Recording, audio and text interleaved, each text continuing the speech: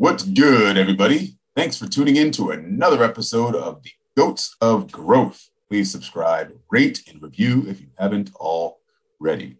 And like always, the J. David Group, which is my company, is sponsoring this episode. We help recruit today's go to market teams that will lead the next generation of unicorns. Email me web at thejdavidgroup.com to learn more about how we can help. And of course, don't forget, working on a book called The Goats of Growth, which is the untold stories of the greatest revenue leaders of all time, which is due out at the end of 2023.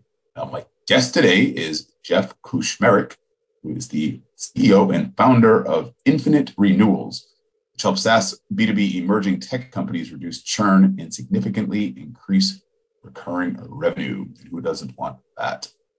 Jeff, thanks for coming on to Goats of Growth. thanks, thanks for having me, Jay. Really appreciate it. Yeah, you, you you will agree with that last statement I just made, right? Who doesn't want that? That question. Yeah, I, I think everybody wants that. They just don't rec- realize how to do that sometimes, right? But uh, we, we can get into that a little bit during the talk. You know what? Why wait? Let's get into it right now.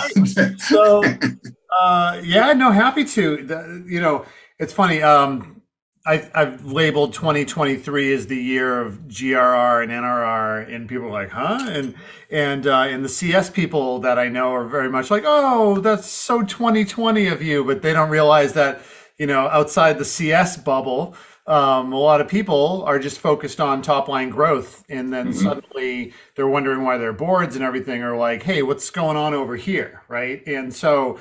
Um, you know, a lot of new founders and you know new tech execs and things like that, if they haven't been through um, uh, the whole growth trajectory of a company, they're super focused and being told by their boards like grow, grow, grow, logos, logos, logos, which is great, makes the world go round. They also have to focus on the other side, which is keeping those customers, right?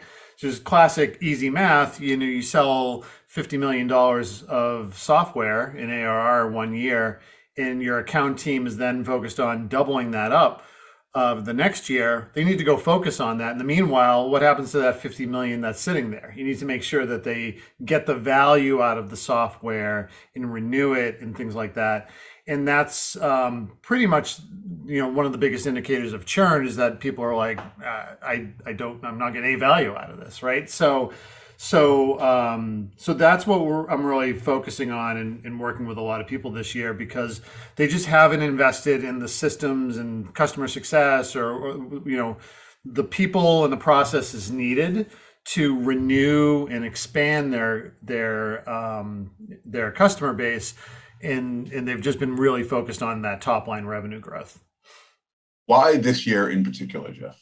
Are you focused so much on an NRR and GRR? Yeah. And for those who, and, and for those who are unfamiliar, uh, the acronym NRR and GRR, just tell us yep. what those stand for. And I swear, when, when I talk about these too much, I have to open up the old Googles myself sometimes.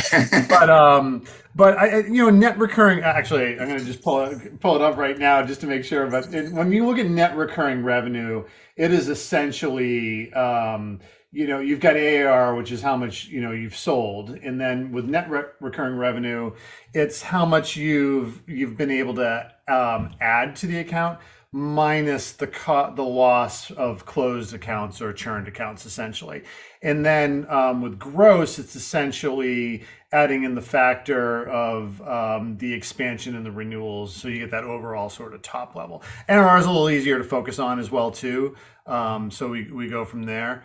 Um, but I'll tell you why. So regardless of which factor, because some boards look at different ones.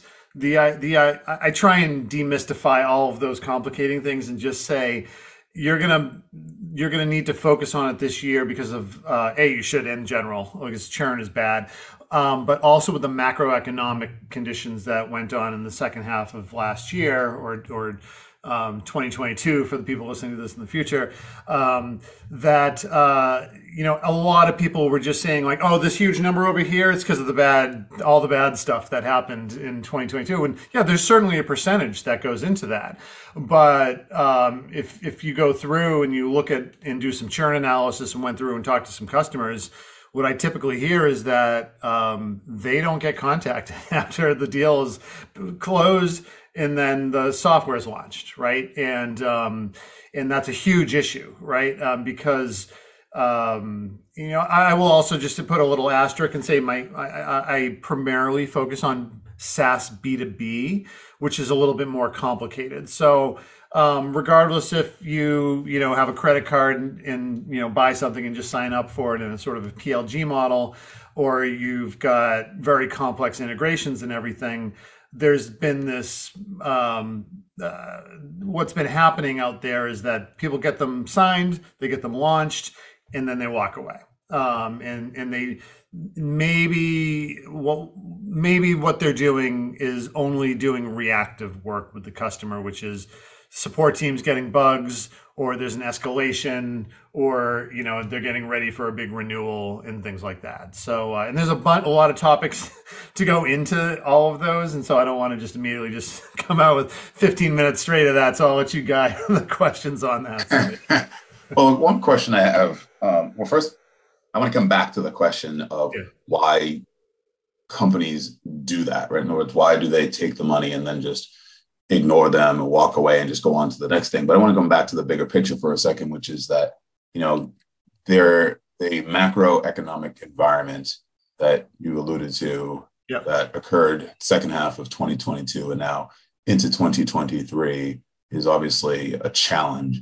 And so by focusing on um, net recurring revenue, is it net recurring revenue or net retention revenue? Net retention. I, I, net recurring revenue. Um, okay. net dollar revenue is also an NDR is another way to look at, it, but essentially NRR, yeah, net recurring. Yeah, in NGRR.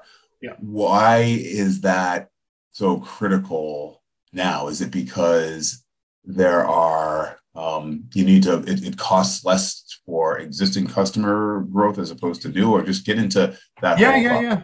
Oh, there's first of all, there's that concept of the hardest thing to do is get a new customer, right? And so mm-hmm. a lot of money, you know, your uh, your your CAC factors of like how much does it t- cost to go out there and get one with your salespeople and the marketing and all that fun stuff. So we all know, and sales is hard, right? And and I've certainly done a lot of sales, and and getting those new customers are extremely hard. So then there's the concept of like, well, why would you let them slip away, right? So that's that's always been a main concept, regardless of what happened. That was still when things were booming before the what happened last year. Um, that that that's that's that's always been sort of um, a focus there. Um, so um, trying to like put my thoughts together on this. I think you know what I'm hearing a lot. I I work and interact a lot with boards and uh, you know companies, private equity or or um, venture capitalists um, in you know Series A through C essentially, and they get really scared when they see retention or churn is really high. Um, you know, um, I'd say industry standard. You, you want to shoot above ninety percent. Ninety five is like amazing, and you're doing like the best thing of, of all time. Um, so when you start getting below ninety, it's like, oh, we should start looking into that, right? Um, as an investor, it's very scary to say to look at a lot of numbers and say people it, sometimes it's even worse. Okay great you convince them to buy your software. They don't want to use it right? Like they're not using it they're not going to renew. They don't do they not like it or they're not getting value out of it or there's that so that's a huge signal for and then you can correspond that with like well like some um, customer sat scores or nps whatever that is and and usually both of those are really down if there's well, at least if i get brought in but like that's what boards are looking at because it's an easier problem to fix. Um, and there's some standard reasons why this happened that we can get into um, but you know, it's essentially like you need to hold on to these customers and and because they're so hard to go out there and get. And then it, it should be easier to do. You just kind of have to put a lot of the right processes in place.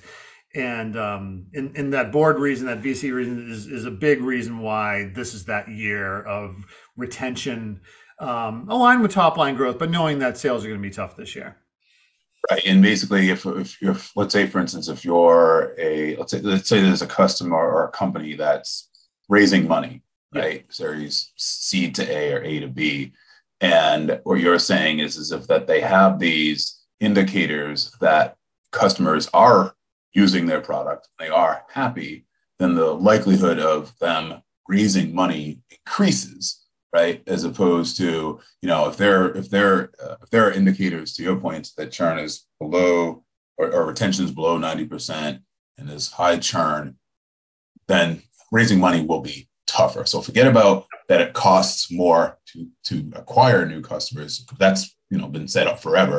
But basically if you're looking to raise money especially in this economic environment you better tighten up your um, your customer professional services organization so that uh, so the retention can remain high. absolutely, right? absolutely. It, it's um, it, it, there's in those two factors um, or, or, two points on that is that uh, yeah, absolutely. People are looking at these retention numbers and combined with C, uh, CSAT or NPS, saying like, is this a good investment, right? And so there's that aspect of things and then you want your salespeople, especially at those stage of companies, to be hunters. You need to get logos. You need to do that. So they can't be focusing as much on the relationship.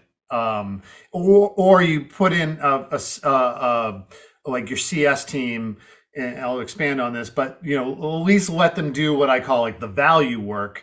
So if you want your account people to come in um, to maintain that relationship for the renewal and whatnot, it will be a very easy conversation for them to have. So I don't particularly like to get into the who owns the renewal and the upsell and, and, and all of that because I believe it's very company specific and could be based on how big your deal sizes are and things like that. But what does need to happen, regardless of that, is that you, you know, your marketing team, and your product team has come up with a series of positioning statements about why people need to buy your software, right? And those statements should, you know, we're, we're trying not to go with um, with just um, what am I trying to say? You don't want to just sell on features, right? You want to sell yep. on outcomes, right? Mm-hmm. So so if you're selling on outcomes, that means you know they're looking for specific sort of things. You need to keep showing them along the way that you're providing these outcomes for them. And this is the key thing that most organizations drop the ball. And that's why they're seeing retention because people are saying, I'm not getting any value from this. They might be, but people might not be telling them until the end. And maybe they've already made a decision, right?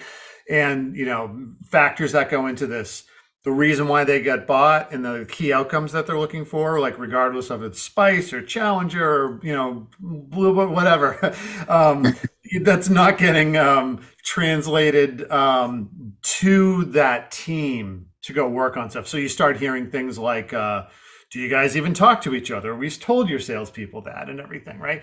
Um, but if you have a scenario where every step of the way and all these different transition points, people understand uh, on the on the on your companies on the software vendor side why this customer has bought it and what key outcomes they're looking for. They can configure the system and make sure that the users understand how to use it in a way to get those outcomes.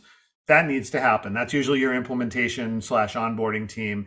Then you transition and over to your csm um, to be able to maintain that relationship to expand on those you know, and then hopefully every, you know, it's usually a 90 day period, you QBR, whatever, you need to bring that data in and show the people who sign the contract. Because another core thing that happens is that, you know, uh, you know, CIO signs deal, hands over to somebody in IT, they run it, project manager to project manager, and that's where they're those two are just talking. Value stuff never gets raised back up to CIO. You know, just as a very broad example there. So you need to be able to start communicating that stuff, that data back into them so that they can see the value that they're getting. And then if they're not getting the value, put a plan together over the next 90 days to get that value out. And that, if you start doing activities like that, so that they're realizing they're getting their key outcomes, you can sell the ROI story, and then your renewal and then your expansion is going to be a lot easier from there. What about early indicators, right? You mentioned obviously the handoff yeah. Um, early on, but what are some of the early indicators that it's not going as well as you would hope it, yeah, to go, yeah. right? So that you yep. having that conversation a year later. Yeah. yeah. So right from the from the get go, um, you know, if they're not showing up to those implementation meetings, right? You know, still say just to make things easier, uh, you know, 30 day implementation period, right? You know, can get complex for, you know, I can go up to, you know, six months or so. So if if the team's not showing up, if you're using software to track milestones, because um, you know it's a you know both sides of the fence are, are, working on stuff, they're not getting their deliverables done. They're not giving you the data. They're not doing their security stuff. Suddenly, it's like they don't care about this, right? Um, and then you got to kind of go back to the person who signed the contract and like, look, you you're paying us X amount of dollars, and your team's not doing X, and so then they they start getting so that's that's the implementation that's that's the first sort of like early indicator from there. Then from there um, you are onboarding the users usually right? So you get the system set up then you bring the users on board then you have to monitor their usage. So if their usage is down um, that's one. Now a lot of people stop like they look at broad usage numbers. And this is why um, there's been a, a, newer team in the CS world that's come about called CS Ops. You know, we all know, love our RevOps people. Same sort of thing on the other side. Sometimes we don't. when they're holding commissions back and everything but like um but like um they're super helpful to be able to then slice into things so let's say for example you've got five modules right that are critical to get these key outcomes people see high usage maybe they're only using one of those modules right just as an example maybe maybe there's high usage in one segment of users, but the people that you really want to use it are getting no usage, right? So, so really diving into that data and making sure that you're seeing these these usage indicators um, is is is that bigger early indicator. And and even if you're doing like a rollout, you know, segment to segment to segment, you still need to maintain this even if you're still in implementation, um, not just waiting again until the renewal is happening or something like that. Got it. Is there something that can be done to increase retention or basically reduce the likelihood of all of this happening um, during the sales process? In other words, yeah. tell me about absolutely, that. Absolutely. So, um, no, not necessarily controversial points I'm going to bring up here, um, but um, I believe, again, when you're talking about complex things and everything, a lot of people don't like the CSM's team or the CS team or the implementation team to come in during the sales cycle. Because the classic, like, nope, you're going to slow the deal down or you're going to bring up something that's going to blow this whole thing up and everything. So you need to work together to make sure, like, you hear a big danger thing and you're like, oh, no, no, no. Like, don't do that on that call. Like, oh, great. Okay, we'll talk about that. Then internally, you can be like, dude, like, what are you selling them? like, besides, so, so, because, you know, I have a saying, and it's part of the, you know, we're both writing books. Mine's called Retention Starts in Implementation. That, that those crucial things happen that if you have your first implementation meetings and you're finding out all this data and then you're breaking their heart three weeks into it, two weeks into it, that's a bad thing. So let's try and neutralize that in the sales process because a lot of times it's just about managing expectations, right? So, bless you. So, I think um, what's well, not I think, but what's worked really well is you find some people on the post sale team that are really good in pre sales. Give them like that forty five minutes. It's usually when you're about to send the contract out and like, oh, implementation just wants to come in. They're usually loved, and I'll tell you why. You suddenly bring in somebody that can answer all of their questions ask really good questions and they're not on commission. So so the per, so suddenly they're like, I want to work with is that is that who's my CSM going to be? Like they're great. They have that domain knowledge or use case knowledge that the people in sales don't have. And that's not because of the sales things. These people are just doing it every day. They're hearing all the different things people are doing with the product. So if you can bring them in to kind of neutralize or find out and just set expectations correctly, like, oh, you want us to integrate with Salesforce? No problems. Probably add another week or two onto the timeline. Oh, okay, that's good to know. By the way, they can help increase or or decrease the time it takes to to to um, to get the deal signed sometimes because you suddenly start putting this all together and you're like, well, this is going to take now 45 days. When does your contract with your current vendor end? And they're like 30 days. And you're like, oh, well, we got to get going right now. You know, that's happened a ton. So so those types of conversations, expectations, like having a list of five or 10 questions that they can answer that you can just help set expectations better.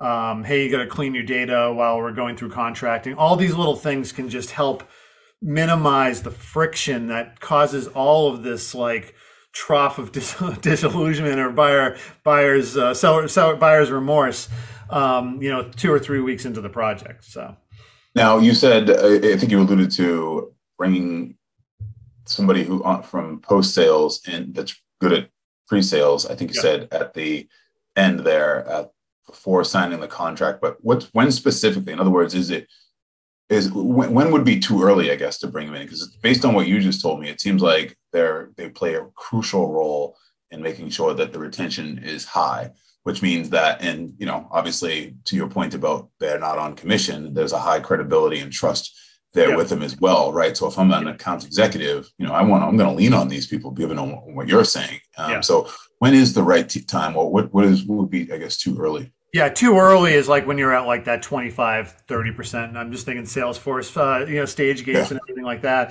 Um, yeah.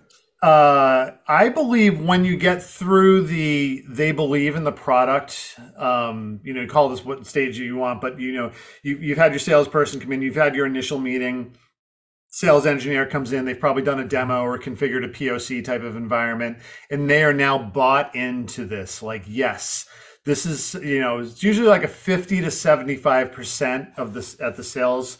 And then that number, it it's it's it's earlier in the sales process depending on the level of complexity uh, of your product. You know, if you've got it again, as I said, quick coin operated type of thing or whatever, you might not even need them. But as you start getting into more layers of complexity, um, we've had that. Um, I, I have seen a lot of success with companies that like don't let you send the, the, the legal contract out until that meetings happen. So um, not trying to say you should do this or not do this, but that's sort of in that time frame that you would think about. You're about to send some contracts. Just need to answer a couple quick questions so we can, you know, get the implementation team and the implementation part of the SOW or the MSA or whatever it is, just kind of ironed out and things like that. Um, and and if you frame it correctly and then ask the right questions on the calls, um, it, it's usually pretty smooth. Okay. So let me just let's do a quick case study here for you, if you will, future future looking, I guess.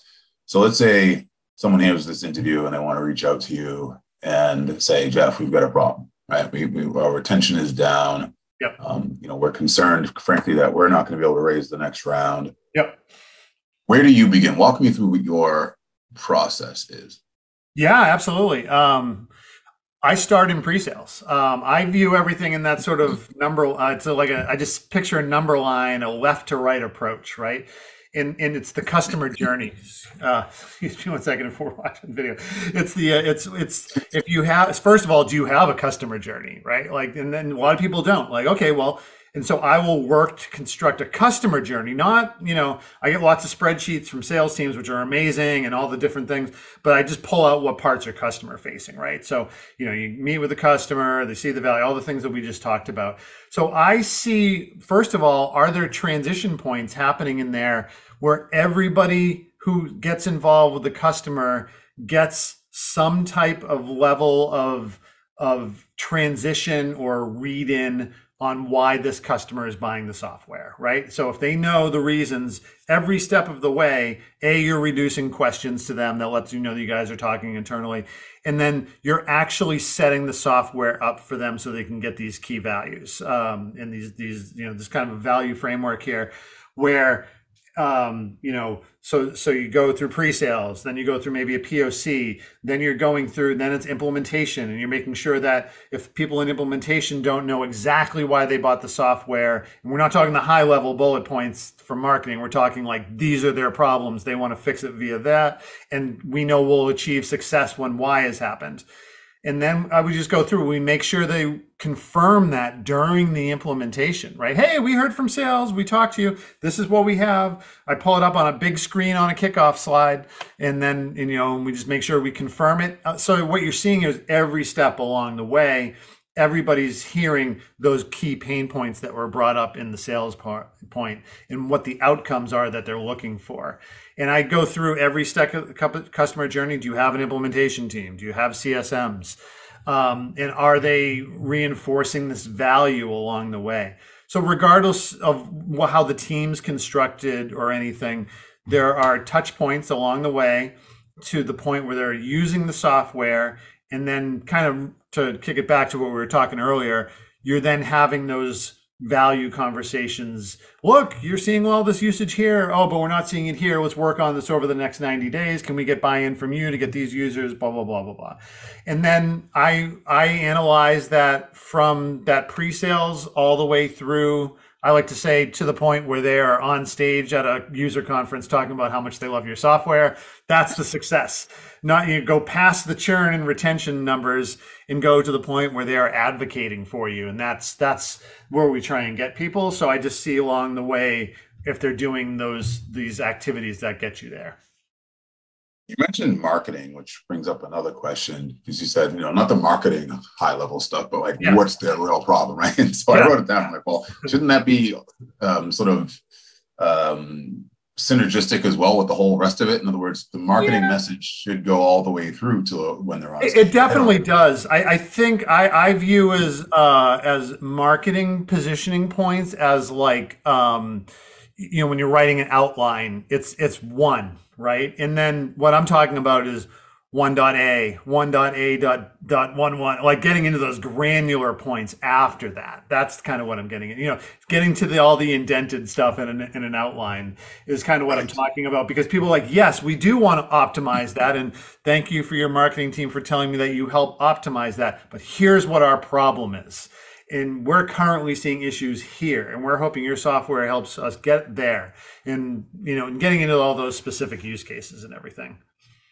I wrote down uh, I should say my producer noted that the the uh, we left off the last conversation. We had a pre interview and you talked about how crucial it was for the cro customer success success leader to be connected um, and communicating um, and in quotes, why report to a distracted CRO and the, not the C, why, CEO, why yeah. report to a distracted CEO when the CRO knows all the numbers and projections? Tell me about your thoughts there. Yeah, and then I'm just writing a note here to make sure I cover this other thing. Um, so, and and for people that usually listen to your podcast, they might not even know about this movement in the CS world, but they've probably heard it, which is that CCOs, which is Chief Customer Officer, which owns every customer facing thing post sale, which is support, success, implementation, professional services, perhaps learning, and and all those other fun things, but uh, customer marketing as well. There's a big movement saying that they they need a seat at the table the boardroom and the re, the way to get that is to report to the CEO. And I'm like, yes, and in theory, I get it.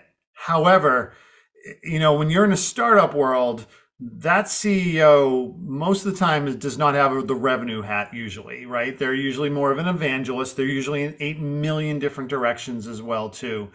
Um, you know, their main job is getting funding for the company. And so uh, and then executing on that strategy and then hiring the right people underneath them to go execute on it.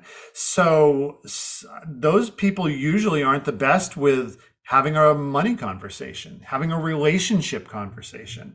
So if they're not of that mindset or have that skill set in their background, does it make sense for the CCO to report into that person? Um, a lot of the time in the conversations that I'm talking about, um, you know, the CSM teams will get that training from the salespeople, and, the, and this is these are these are how we talk about the software. This is how we sell it, and then this is how we want you to work on it. So that's that's where I'm talking about is is you know reporting into a distracted person who's maybe not even looking at the numbers. I've seen that they're just not they don't know what to look for. Goes back to our first conversation on just focused on growth they're not looking at these CSM numbers or the you know the retention numbers and everything. They're not even you know worried about it until their board tells them that they are. But a sales leader usually will will will have that, and, and the, the good ones do. They know that this is total overall revenue. They may want to own that number, which is fine. Um, you just want to make sure that the the when people say seat at the table, kind of gets into well, what are the key outcomes you're expecting from that? Oh, it's being able to talk in this manner make sure that you can get those same key outcomes if you report to a CRO. All right, that's a great explanation. how do you separate the product from the process? In other words, what if the product is just not up to par? uh, what are you? i I've never heard of such. A- oh boy, um, that's why some of that pre-work is so critical. In in in in like I, I, I sometimes what I usually say is I I, I don't want to I don't want to bust the the salesperson's dreams, right? And so, and so, like sometimes, so like maybe not even be part of that conversation sometimes because you know the that team that is going in and walking through the difficult questions and everything they sometimes they they know they know where everything's buried right?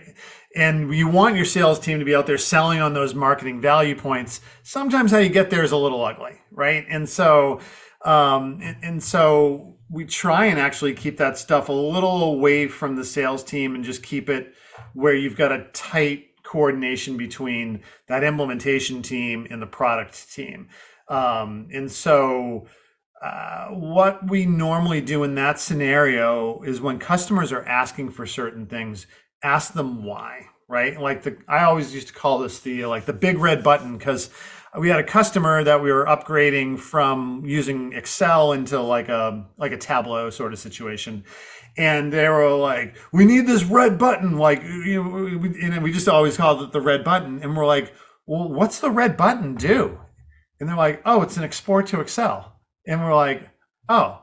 Or export to CSV, excuse me. And why? Because they can then go dump it into their data tool or whatever. And we're like, oh, so you just need an export tool? And they're like, yeah. And so, but everybody gets focused on the like, where is it located? What does it look like? I'm used to seeing X. So you got to cut down, especially when product might be catching up to the marketing is well what are you again it goes back to the key value what are you trying to get out of the software we're like what is that feature what are you trying to get out of it and everything you go back talk to product customers looking to find out how you do X, Y, and Z, and they might tell you, "Oh, okay, yeah, yeah, just go do X, you know, go talk to this, or go talk to let's get dev involved. Maybe they got to do a little backdoor thing, or maybe they elevate something in the roadmap. Which again, if you found this out." 75% of the deal, you might get an extra month or two for the product team to get that thing that you discovered to get shipped versus the like worst case scenario, which I've bumped into a lot, which is hey, um, that feature is not ready yet. To, oh, that's critical for us. Oh, well, then you're going to have to wait another three to four weeks. That means we're going to pay for our other vendor that we were trying to shut down. We're going to have to go.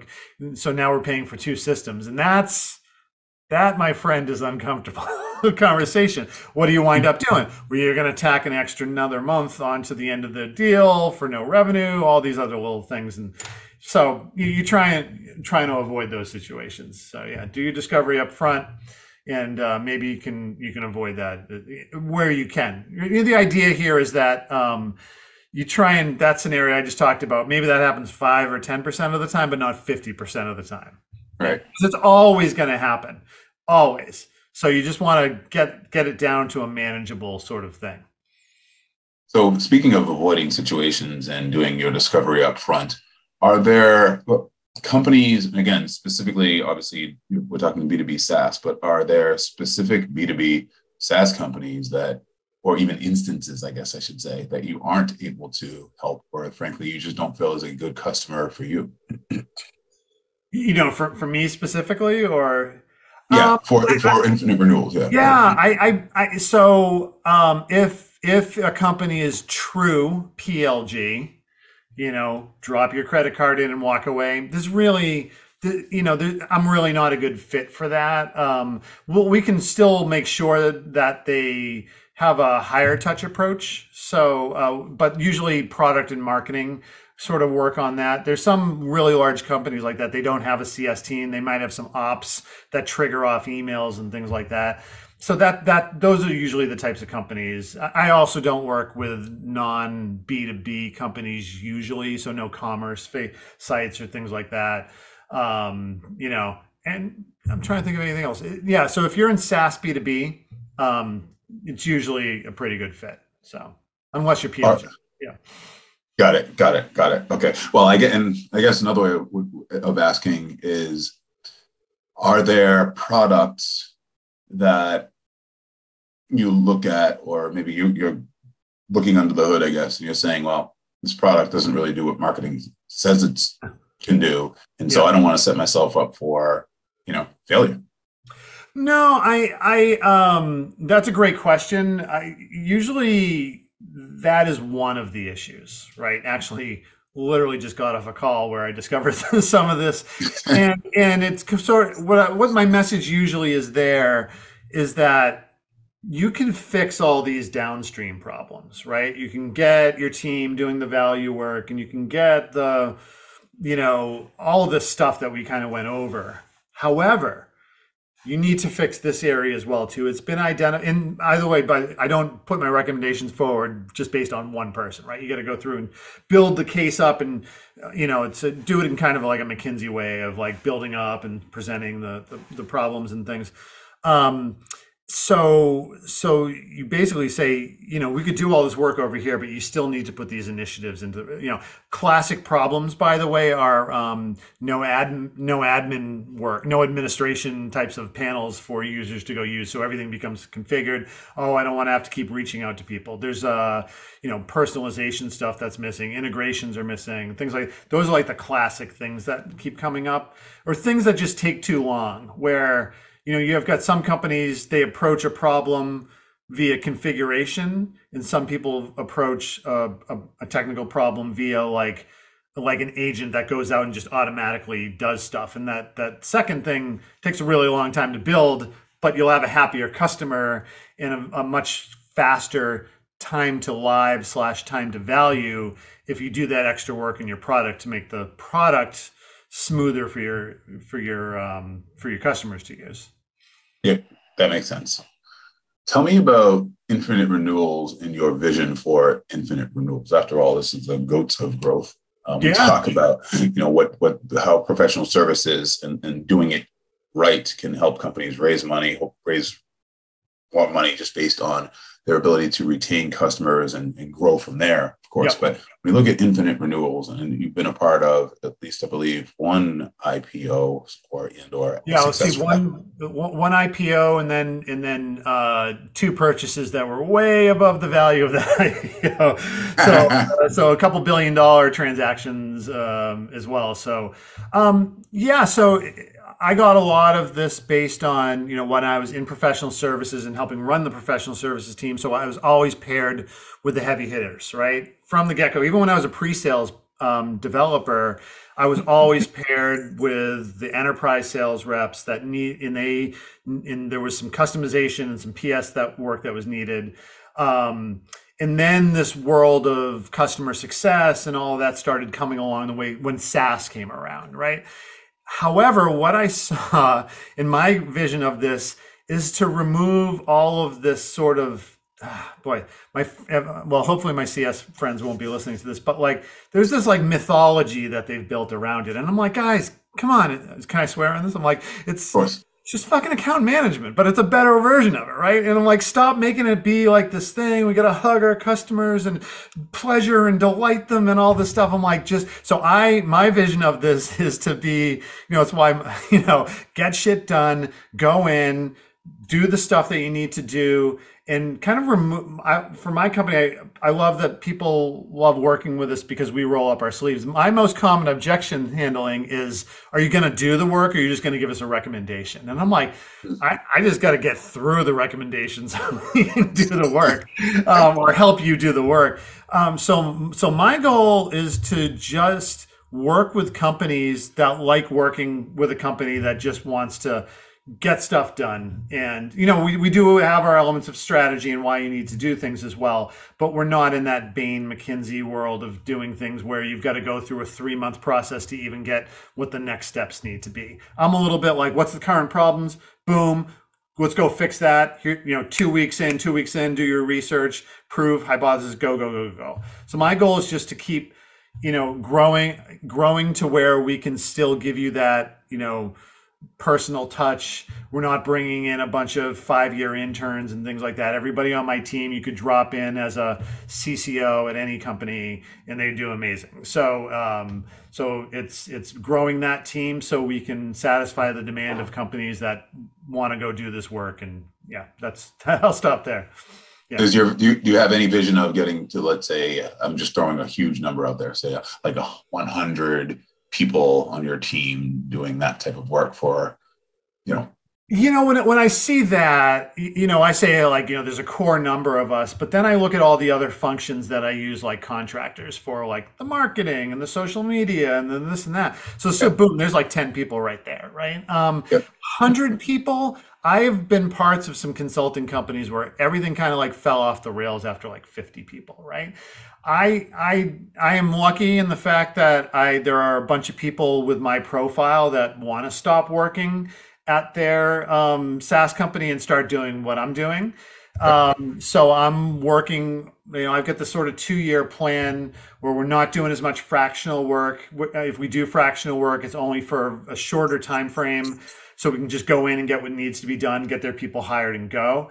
Um, and then from there, I will very selectively bring in people that can, you know, do the work um, and uh, and go from there. So maybe 20 of us tops, and then maybe some support staff and you know you know report creators and marketing people and stuff like that but not not too large um i've been through this so you know i think there was a point it was like triple hockey stick growth like from 2000 through 2015 and total burnout from there and i'm really just trying to you know do it in a way that's that's scalable for me so yeah, makes yeah, I hear you. I hear you for sure.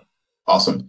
Well, you ready to get into the rapid fire five? I'm ready to go. I might have answered one or two of them already, but well, we're almost bleeding into the second one, which I'll ask you in a second. But yeah, let me start with the first one, which is what motivates you what motivates me well first of all i've got three daughters that i need to get through college so that motivates me and i want to i want to enjoy my my my retirement and not have it start at 75 but i'd still i don't know i'd still like to be involved in it.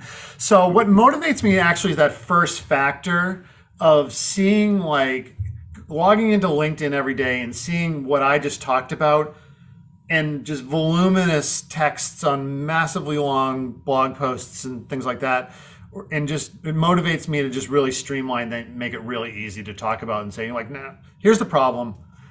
You're not renewing enough. You're not focusing on your customers. Let's go in there and fix it and fix the problem right? That that's what I'm, that's what motivates me. Um, so you know I'm kind of also like Bill Belichick boardroom type of stuff. Like I look for that thing that might not be too inflammatory, and then I'm like, I can't believe they said you're right. Like just fired up and everything. Right? You know, fake billboard materials. yeah, of course, right. Uh, yes, I think Michael Jordan was pretty famous for that too. Oh, yeah, absolutely, yeah. Name a big goal you have right now, and when would you like to accomplish it? Yeah, that big goal um, it, it's for me it's really reducing the fractional work um, and and anybody that does fractional work and then combine it with project work knows what i mean because oh i wish i remember the name of the book but it's essentially like you know money is killing your business or something which is sort of in this thing that you can't go work and expand and do the things that you need to do because you're so busy working on the stuff right and so mm. when i'm I give it my all when I'm a fractional leader, and then that doesn't give me the time to go do all the other things that need to go get done. So the idea is to um, just reduce the fractional work and do a lot more project based work, which means you know back to sales stuff, more more conversations, you know, bigger funnel, more pipeline, and being able to work on those things so that um, you know we can have you know, instead of one, you know, six to 10 month fractional gig, you know, maybe three projects or something like that. Then there's more, I'm just speaking me, there's, you know, a bunch of us on the team. They actually only do project work. So, yeah. Got it. Yep. That makes sense. Yeah. What's your preferred, most preferred way to learn new information to stay sharp? Audio and video. I am, uh, I, I, you know, every morning walking my dog, um, and uh, I've got some type of podcast going or audiobook um, going. You know, uh, you've suggested there's obviously yours. There's some good ones out there too. Um, and then I'll, I'll, try and kind of bounce it between podcast and audio. When I'm learning a more complicated concept, uh, even when it comes down to like guitar and other things, like I'm a video sort of, I'm, a, you know, I was a Brightcove for many years too. That's a video platform, so very big video, and uh, yeah, and, and I'm, I'm prefer to send out Loom videos instead of typing them, typing up long emails. So yeah, so yeah, video. How many hours of sleep do you average per night?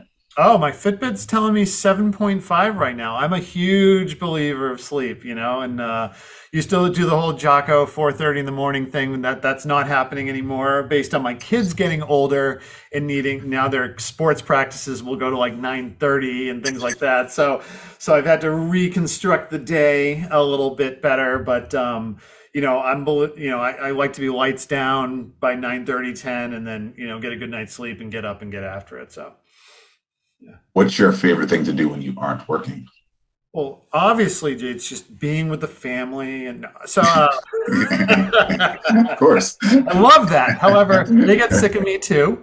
Um, I don't know if you see, I've got a couple guitar amps over here, and you don't see I all did. the stuff that's over here. So yeah, yeah. I love playing guitar. I um and um I go to a local blues jam down at. Uh, if you ever go to um the Porch in Medford, amazing Southern food down there. Um, you know, and, I think I have been there uh, yeah. several years ago, and, every I'm glad Sunday, you're reminding me. Yeah. Every Sunday there's a blues jam, and although I'm not like Mr. Blues guy, um, I'm a little too busy to be in a band. I had to leave my band um, uh, uh, last year. Um, and so that's my opportunity to go play with some really good musicians and, and stuff like that. I also just want to say I, I still love coaching um, my daughter's sports. So I'm coaching. We talked about this. I'm still coaching uh, fifth grade girls hoops. Um, my soccer is done, but uh, I played lacrosse in college, and I also coach fifth grade girls uh, lacrosse uh, for my town as well too. Yeah, you and I are both passionate about those things. Yeah, for sure. And for those of you listening, we uh, Jeff and I happen to live in Massachusetts together. So that's why you mentioned that uh, the port there. Yeah. And okay, let me ask you a question that came from one of my other guests, and then I'm going to ask you a question that you would like to ask a future guest. Sure. So the question is very simple. What location would you like to travel to?